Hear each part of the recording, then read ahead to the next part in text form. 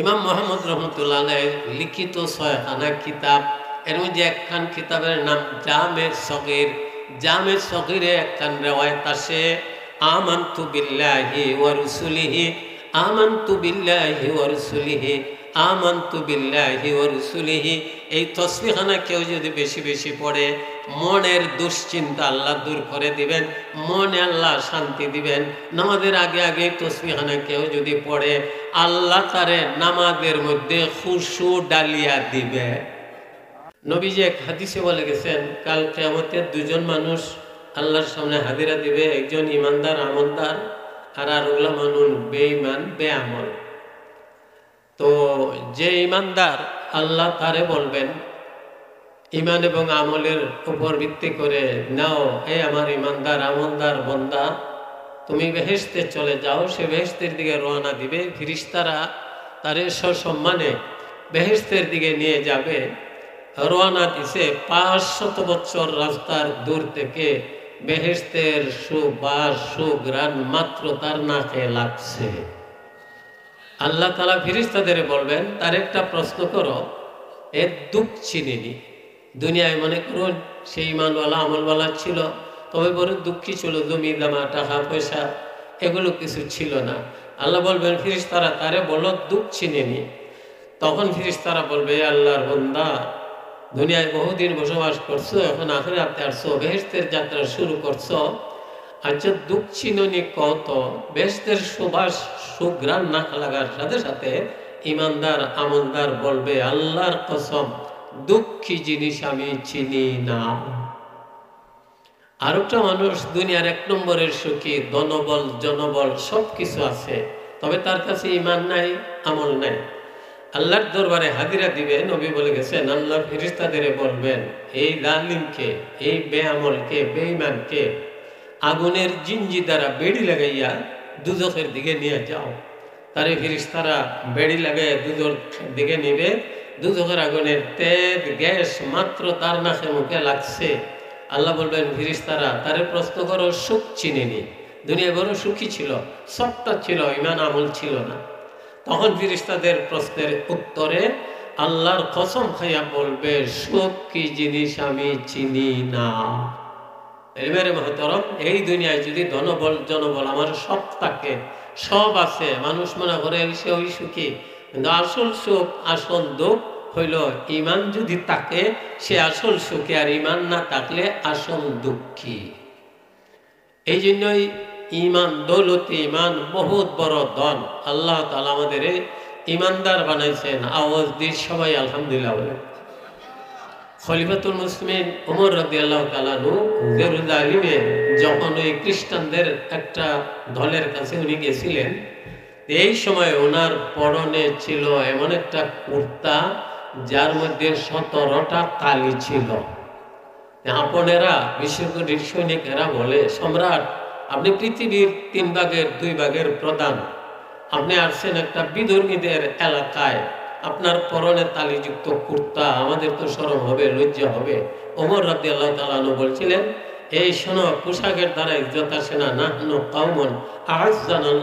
ইসলাম আমাদের সবচেয়ে বড় গৌরবের বিষয় আমরা ইমানদার। আমরা মুসলমান, এটি আমাদের সবচেয়ে বড় গৌরবের বিষয়। এরপরে দেখা গেছে, ওই খ্রিস্টানেরা ওনার তালিযুক্ত কুর্তা দেখে আরও কিছু ব্যবহার দেখে তারা আত্মসমর্পণ কইরা বলতেছে উনি সঠিক খলিফা, মুসলমানদের খলিফা ওনার পথ, ওনার মত, এটাই সঠিক। তারা আত্মসমর্পণ করে, কালিমা পড়ে মুসলমান হয়ে গেছে। মেরে মহতরম, ইমান বহুত বড় ধন। ইমানের হালতে থাকাটাও ফরজ, ইমানের হালতে মরাটাও ফরজ। সবাই বলেন ইমানের হালতে থেকে ইমানের হালতে মরতে সবাই রাজি আছেন। এখানে আল্লাহ তালা সাতটা গুণের কথা বলেন, এই গুণগুলো যাদের কাছে আসবে, তারা কামিয়াব হয়ে গেছে, লাভবান হয়ে গেছে। এক নম্বরে গুণ হইল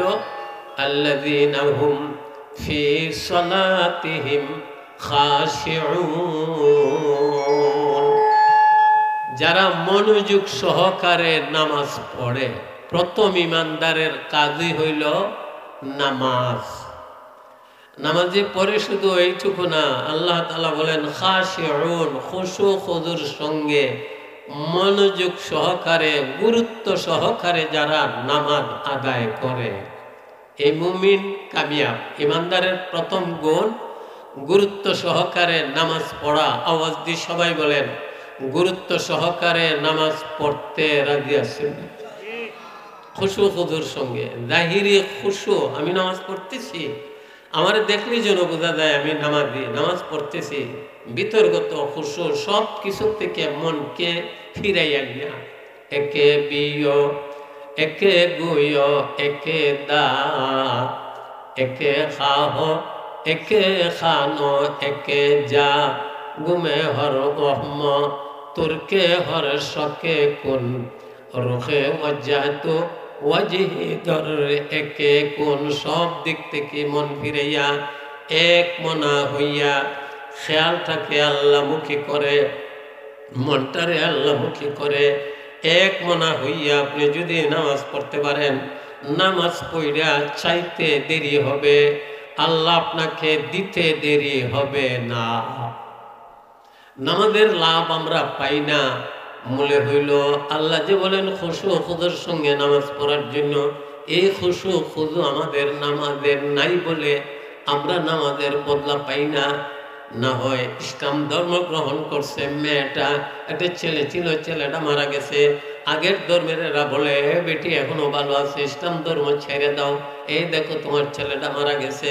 লোকজন আসছে, গোসল দিবে, কাফন লাগাইবে নামাজে জানাজা পড়াবে, কবরে দাফন করবে। মেয়েটা কয়, একটু পরে রে, আমাকে একটু সময় দাও, আমাকে একটু সময় দাও। মেয়েটা মন লাগাইয়া খুশু খুদুর সঙ্গে দূর আকাত নামাজ পড়ে। আল্লাহর কাছে চাইছিল, আল্লাহ, আমাকে সরম থেকে বাঁচান, লজ্জা থেকে বাঁচান। আগের ধর্মের আমাকে ধিক্ষার দেয়, আমার ছেলেটা মারা গেছে ও লোক লাগছে? ও আল্লাহ একদিন তো আমার ছেলে জিন্দা করে দিতে পারেন। এখন আমার তার ছেলেটারে জিন্দা করে দেন। নামাজ কইরা হাত উঠাইয়া চাইতেছে চাইতেছে, মুহূর্তের ভিতরে দেখা যায় আল্লাহ তালা এই মহিলার মরা ছেলে জিন্দা করে দিছে। এক সাহাবি বলেন এই ছেলেকে কাফন লাগানো হয়েছে, নামাজে জানা যাও পইড়া কবরে দাফন করা হবে, কাফনের ভিতর থেকে উঠে ওই ছেলেটা আমাদের সঙ্গে এই সময় ওই খানা দানা খাইছে। আমরা নামাজ পড়তেছি, কিছু পাই না। মূল কারণ হইল নামাজের যে শর্ত এক নম্বর, ইমানদারের যে আলামত খুশু খুদুর সঙ্গে নামাজ পড়া। কীভাবে আপনাদের কথাটা বুঝাই? খলিফাতুল মুসলিমিন হজরত আলী রদি আল্লাহ তালহ ওনার পায়ে খাটা ঢুকে গেছে। এটারে বাহির করা সম্ভব না, বড় কষ্টবান, দুঃখ লাগে। উনি বলেন, তাক দে, এটা বাহিরের চেষ্টা করো না। সবাই বলে, উনি যখন নামাজে দাঁড়ান, তখন খোলার চেষ্টা করবে। আলী রাজি আল্লাহ তালু নামাজে দাঁড়াইছেন, সেজিদায় গেছেন। কেউ মুসনাদ দ্বারা টানে কেউ রশ্মি লাগাইয়া বান্দিয়া টানে, বাহির করতে পারে না। একজন সাহাবি ওই খাটাটা বাহির করতে দু ফায়ের দাঁত দিয়া, খামর দিয়া বাহির করছিলেন। সাহাবি বাহির করলেন, ঠিক ওনার দুইটা দাঁত ভাঙ্গি গেছে। আলী কিন্তু টেরও পাইলেন না। এর নাম হয়েছে খুশু খুজুর নামাজ। আমরা যদি এইভাবে খুশু খুজুর সঙ্গে নামাজ পড়ি আমরাও এইভাবে নগদ ফল পাইব, আল্লাহ নগদ আপনাকে ফল দান করে দিবেন। ওই আলী আল্লাহ তালানু এইভাবে নামাজ পড়নেওয়ালা আল্লাহ তালা ওনাকে এমন একটা শক্তি দান করছিলেন, খন্দক যুদ্ধে খাল খোদা হয়েছে এরপরও দুশ্মনদের একজন আমরা আপনি আপদেও হত গোড়ার ঠাপ দ্বারা ফারি দিয়ে এসে বলে হালমিম মুবারিদিন এই মুসলমানেরা সাহস থাকলে আমার সামনে আস। সব পেরেশান, নবী পেরেশান। নবী শেষ পর্যন্ত বললেন রে আলী, যা যা। এত বড় দুশ্মনের মোকাবেলায় এই জুলফিকার তলোয়ার তোমার হাতে আমি নবী উঠাইয়ে দিলাম। তোমাকে আমি আল্লাহর হাওয়ালা করলাম। আলী রদি আল্লাহ তালানু ওই দুশ্মনের মোকাবেলায় গেছেন। দুশ্মন দেখেই বলে, এ ছেলে মানুষ, কোন সাহসে আসছো তোমার কি নাম? বলে, আমার নাম আলী। তোমার তো বয়স কম। তুমি কি জানো না, এক হাজার পহলুয়ান ছাড়া আমার খোরাক হয় না? আলী বলেন, জান্না ওই আইছি আবার বলে, তুমি কি জানো না, আমার সামনে যে আসে তার বৌরারি হয়? আলী বলেন, তাও জান্নুই আইছি এ, তুমি কি জানো না, আমার সামনে যে আসে ছেলে মেয়ে এতিম হয়? আলী বলেন, তাও জান্নুই আইছি বক্তব্যের প্রয়োজন নাই, কাজ শুরু হইয়া যাক। আওয়াজ দিছু হানলা বলেন। হে বুঝাবার চাই, উনি বলেন, কাজ শুরু হইয়া যাক, কাজে প্রমাণ করবে। আমরা আপনি আব্দে ওয়াদ, এক হাজার পহলুয়ান ছাড়া যার খোরাক হয় না। এক হাজার পহলুয়ান ছাড়া যার খোরাক হয় না, সে সে আর তার মোকাবিলায় অল্প বয়সের আলী। হে আবার জিজ্ঞেস করে, আমি তলোয়ার আগে মারবো না, তুমি মারবা? আলী বলেন, এক হাজার পহলুয়ান ছাড়া আপনার খোরাক হয় না। আপনি আগে মারেন বাসিতে দেখ মনে পড়েনি, কিছু করা যায় হ্যাঁ কয় দেখো ফুলাইতে মারতে হে তলোয়ার মারছে। আলী রেদি লতলানো যুদ্ধের পলিছি দ্বারা অপরদিকে নবী সেজদায় পরে কান্দেন। আল্লাহ হুজুহদে হামদাকে হারাইছি আপন চাষা আমার আপন বলতে আলীকে এত বড় দুশ্মনের মোকাবেলায় পাঠাইলাম। আল্লাহ আলী যদি শহীদ হইয়া যায়, এই জমিনে দিনের প্রচার কে করবে? আল্লাহ এত বড় দুশ্মনের মোকাবেলায় আল্লাহ আমার আলীকে হেফাজত কর। নবী সেই দায় পরে কান্দেন আর আলী যুদ্ধের পলিসি দ্বারা এমনভাবে তার তলোয়ারের আঘাত সামাল দিছিলেন।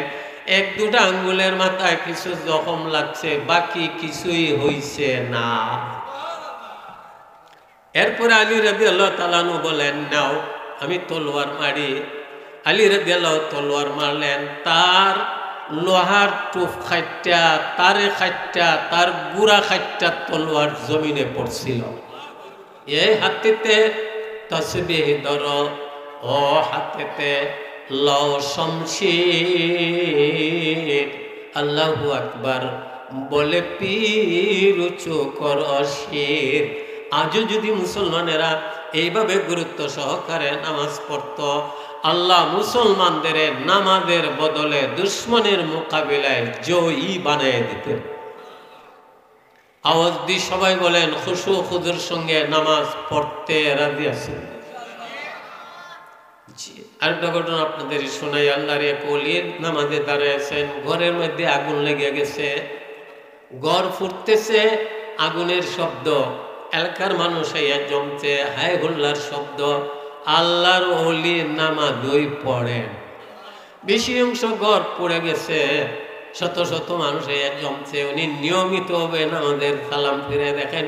বেশি বেশি ঘর, বেশি অংশ ঘর পড়ে গেছে, শত শত মানুষ। সবাই বলে, আল্লাহর বলি আপনি কি আগুনের শব্দ শুনেন নাই? মানুষের হায় হুল্লার আওয়াজ শুনেন নাই? উনি বলছিলেন, শুনো রে, তোমরা ছিলে দুনিয়ার আগুন নিবানুর কাজে। আমি নামাজের দ্বারায় ছিলাম পরকালের।